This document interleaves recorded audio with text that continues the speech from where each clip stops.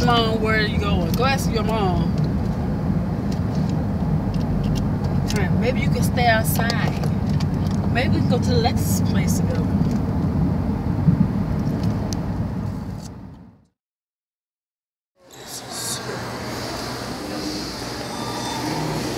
This is going faster.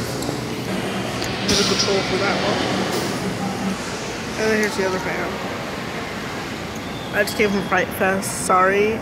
I was gonna do the um Summer Nights in the other I don't know what to call it. The food court for Fright Fest, Six Flags. But it was too crowded today.